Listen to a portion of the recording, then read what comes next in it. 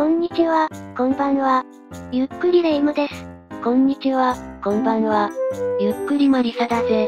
こんにちは、こんばんは、つくよみちゃんです。今回は赤い要塞をクリアしてみたです。奴らは、地獄を連れてくる。アーケード版からの移植作品ですね。それでは、ゆっくりしていってね。ファイナルコマンド赤い要塞はコナミから、1988年5月2日にディスクシステムで発売された、任意スクロールのアクションシューティングゲームなのぜ。ポルが収容されている施設を破壊し、救い出した人々を輸送用ヘリコプターまで送り届け、敵本部を壊滅させることが、今回の任務です。え？破壊していいの？ダイナミック救出なのぜ。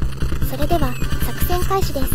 操作方法は十字キーでジープの移動。ラジコン操作ではなく、押した方向に進むのぜ。さすが軍用車両、小回りが効きますね。A ボタンは手榴弾。パワーアップするとミサイル。フルパワーアップで十文字爆風ミサイルになります。B ボタンは機銃。機銃は前方のみの射撃なのぜ。後方や斜めには撃てません。収容施設を破壊すると捕虜が出てきます。ジープを横付けすると乗り込んでくるのぜ。アーケード版はホルの乗車定員が最大8人でしたが、ファミコン版は何人でも乗せられます。壁の向こうに設置されている砲台は、左右に広がる爆風を利用して破壊しましょう。北米ネス版はジャッカルというタイトルで発売されたんだぜ。画面の左右にもスクロールしたり、ステージ1及び6の前半が長い等の違いがあります。隠しアイテムの点滅する星が出現したわね。手榴弾を投げると見つけられるんだぜ。点滅する星はフルパワーアップの効果ですね。フルパワーアップしてミサイルの爆風が十文字になったわね。飛行機も撃ち落とせる高性能な武器なんだぜ。ミスするとミサイルが初期の手榴弾に戻ってしまいます。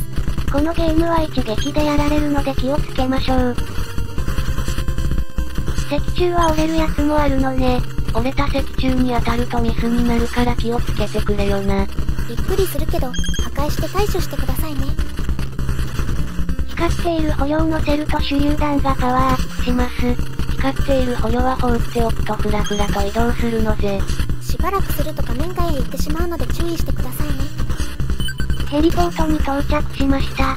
周囲に敵がいるので安全に捕虜を下ろすことができないな。安全を確保してからジープをヘリポートに停車させましょう。敵軍はなんで、輸送ヘリコプターを攻撃しないのかしらねお約束だから、仕方ないよな。合体ロボを合体前に攻撃しちゃいけないのと同じですかね。何人、捕虜が乗っているのかしらね？合計14人乗っていたな。ジープに10人以上って、かなりカオスな状態ですよね。ただ乗っているだけじゃなくて、戦闘してるんだから、すごいわよね。こんな小回りの効いた運転続けていたら、気持ち悪くなるし、振り落とされるよな。その前に流れ弾に当たりそうですけどね。なんで、この人たちは単独で戦うのかしらねジープ1台で軍隊を壊滅させようとするんだからすごいよな。この方は生身の人間たった一人でしたけどね。この石像はミサイルを撃ってきます。ミサイルは機銃で撃ち落とせるのぜ。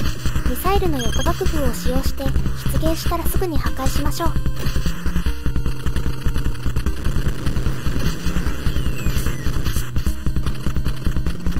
星が出現したわね。緑の星は何かな？緑の星はワンナップですね。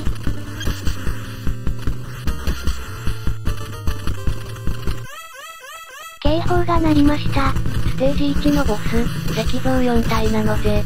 手榴弾3発で破壊可能です。誘導ミサイルを撃ってきます。ミサイルが追ってきた超ギリギリでかわしたな。エームさん、ビビりすぎ。残り1体になりました。もう余裕だな。ステージ1、クリアです。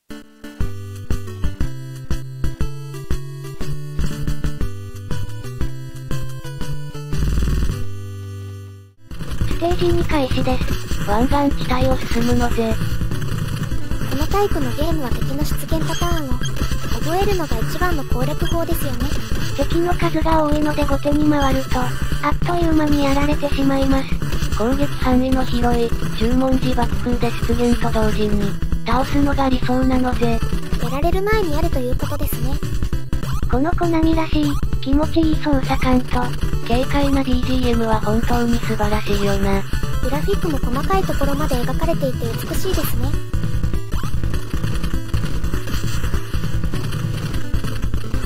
的確な射撃ができるようになってくると楽しくなってくるわね。弾数制限のないゲームって乱射しがちだけど、しっかりと狙った方が効率的だってことを教えてくれるのぜ。それができないから、乱射するんですけどね。捕虜救出します。捕虜にミサイル発射するの、やめてくれ。今回もガンガン乗車させていますね。車検証に記載されている乗車定油をオーバーして運転した場合、定員台乗車として6000円の反則金が課されます。刑事罰は10万円以下の罰金または6ヶ月以下の懲役です。ププ主は人を乗せて走るのは滅多にないので大丈夫そうね。ぼっちには縁のない違反だよな。ここは、レーザー光線地帯です。規則的にレーザーが発射されるので、隙をついて走り抜けましょう。ハイテクな防衛システムっぽいけど結構ガバガバよね。アクションゲームに慣れている人なら、初見でも楽々通り抜けられるな。ヘリポートに到着しました。周りの敵を倒して救出した捕虜をヘリコプターに移します。今回も大勢乗っているわね。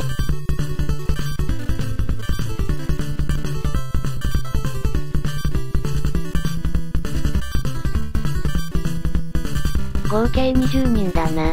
マイクロバスかよ。私はトヨタのコースターが好きですね。赤い星が出現しました。どんな効果があるのかな？敵全滅です。実はここにしかないレアアイテムなんですよ。駐車車両も容赦なく破壊するんだな。歩兵に乗り込まれたら厄介だからね。実際は乗り込まれることはないんですけどね。船が見えてきたわね。駆逐艦かな幅はジープ3台分しかないんですね。どう見ても縮尺がおかしいわね。5箇所ある砲台を破壊すればいいんだな。結構な弾幕なので発射直後は近づくのは危険です。攻撃直前のところを狙い撃ちするのが良さそうね。全然、タイミングが合ってないじゃないか。歩兵は体当たりで倒すことができるんですね。人身事故じゃないの？なかなかエグい攻撃だよな。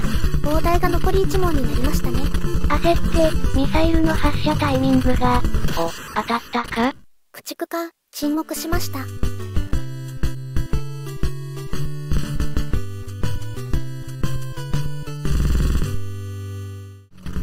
ステージ3開始です。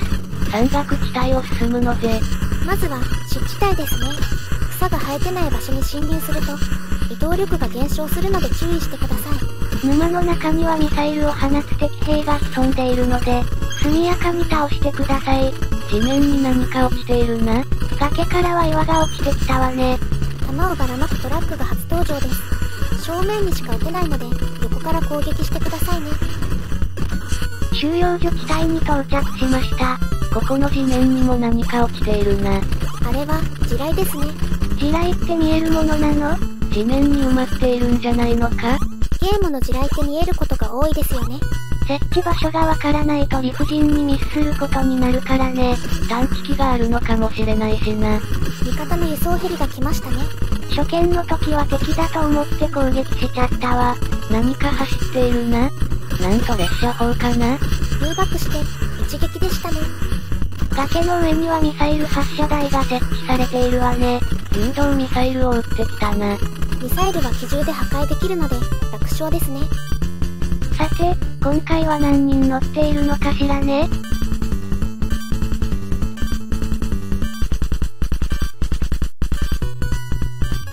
？13人だったな。覚が麻痺してこの程度では驚かなくなりましたね。捕虜の受け渡しが終わりました。ということはそろそろボスかな？アーケード版にはラスボスしかいないんですよね。家庭用だけのオリジナル要素なのね。各ステージにボスが追加されメリハリがついたよな。嬉しい変更点ですよね。警報が鳴りました。ステージ3のボス、輸送ヘリコプターなので。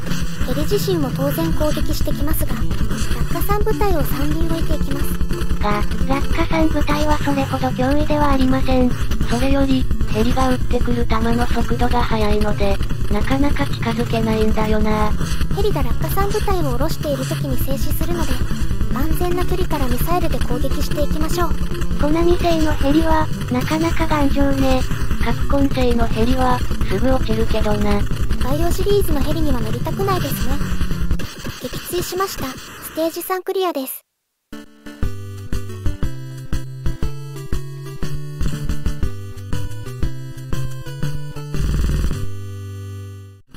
ステージ4開始です。野戦要塞を進んでいくのぜ。敵が多数配置されているので慎重に進みたいですね。このゲームは2人でもプレイできるのよね。ジープ2台で進行する通常の2人同時プレイモード、そして、ジープの運転と攻撃を別々に受け持つ、同乗プレイモードがあるんですよね。これはアーケード版やネス版にはない、ファミコン版オリジナルモードなのよ。2人でキャッキャウできるので大盛り上がりだな。でも、ウォッチナープ主には全く意味のないモードですよね。統治下が設置されているわね。統治下とは敵の攻撃から、兵士たちが身を隠すための陣地のことなのぜ。正面から攻撃した場合機銃は防がれてしまいますが、手榴弾なら統治下を越えて攻撃が可能ですね。右の端は狭いから移動が制限されるわね。左の端を通るのが正解だな。橋を渡りきったところには砲台3門が設置されています。高速弾を大量に発射してくるので即、破壊してください。緑の星はワンナップだっけ？でも、残機は増えなかったわね。残念ながら、これ以上は増えないみたいですね。コナミのミリタリーアクションといえば、グリーンベレーがあるわよね。グリーンなのにブルーなのはなんでだろうな。アーケード版はグリーンの戦闘服だったんですけどね。これじゃあブルーベレーよね。赤い要塞はグリーンベレーの1年後に発売されたんだけど、すごい進化しているよな。1年でここまで進化しているのは驚きですよね。この時期にゲームを制作された方たちは楽しかったでしょうね。ディスクシステムなので書き換えなら、500円で楽しめたから子供たちも嬉しかっただろうな。持主も当時、めちゃくちゃ楽しんでいましたよね。そして、忘れちゃいけないのが、この作品、コントラだな。実は赤い要塞より3ヶ月前に発売されたんだぜ。でも、コントラ発売日の2日後にドラゴンクエスト3が出たので、世間の注目はそっちだったんですよね。子供たちのお小遣いはドラクエ3につぎ込まれてしまい、コントラは、あまり売れなかったんだよな。現在、箱、説明書、キャラカード付きの換金コントラは、プレミア価格で取引されていますね。世界的に人気の作品なので、コレクターたちは血眼になって探しているので、ドラゴンクエスト3も未開封品ならプレミアが付いています。当時は新品コレクターなんてほとんどいなかったから、みんな、速攻で開けてプレイしてたよな。それだけに未開封品のドラクエ3は希少品なんですね。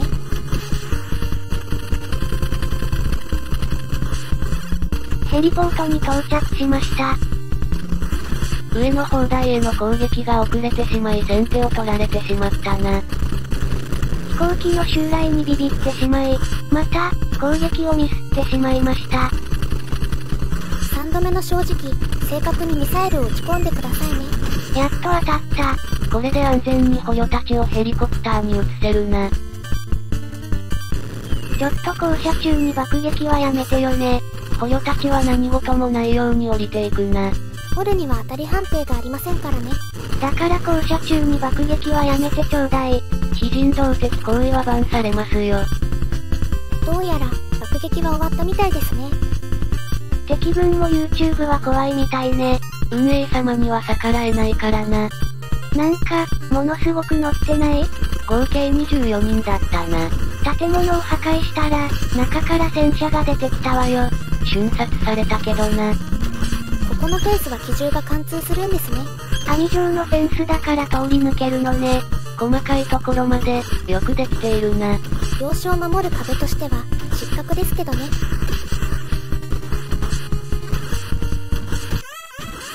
警報が鳴りました。ステージ4のボス、バリケードなので。ゲートの左右には砲台、さらに両端にシャッターがあります。まずは砲台の破壊ね。シャッターからは無限に戦車が発進してくるので、シャッターを破壊して出られないようにしましょう。シャッターの破壊完了です。最後にゲートを破壊して、ステージ4クリアです。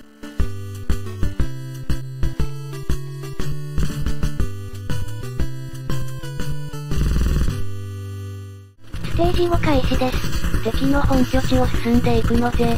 ついに最終ステージですね。自由を我らに。左右に砲台が設置されているわね。物々しい雰囲気だな。敵も本土までは到着させまいと必死ですね。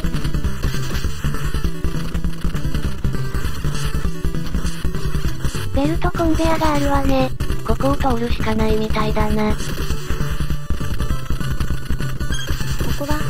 爆風ミサイルがないと苦戦しそうですね。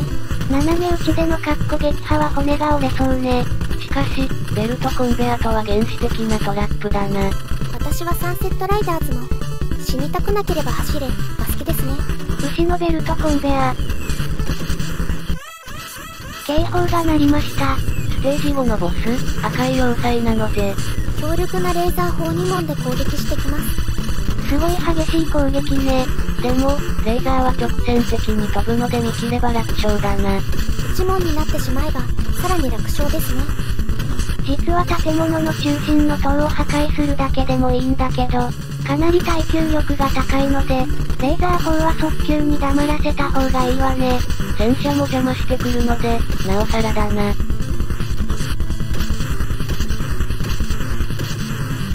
連射機能を入れてるので、ミサイルがあさっての方向に行ってますね。ジープの操作に専念したいんです。レイムは普段ホーミングに頼るタイプだな。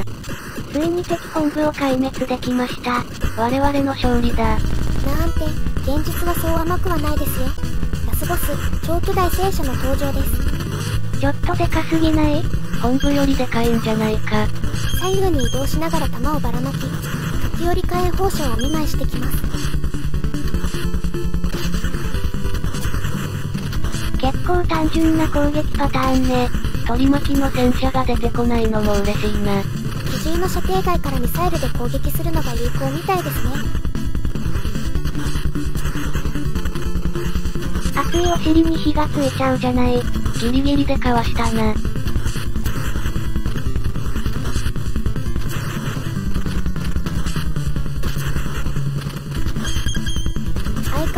射機能を使っているので、ミサイルがあさっての方向に飛んでいますね。色が変わった。攻撃パターンが変わるのか？特に変わっていませんね。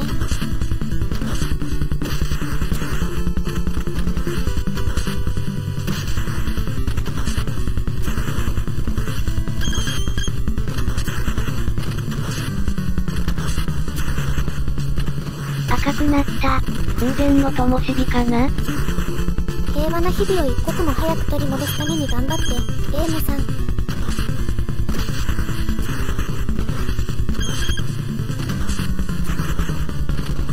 倒した？もう、何も出てこないよな。我々の勝利です。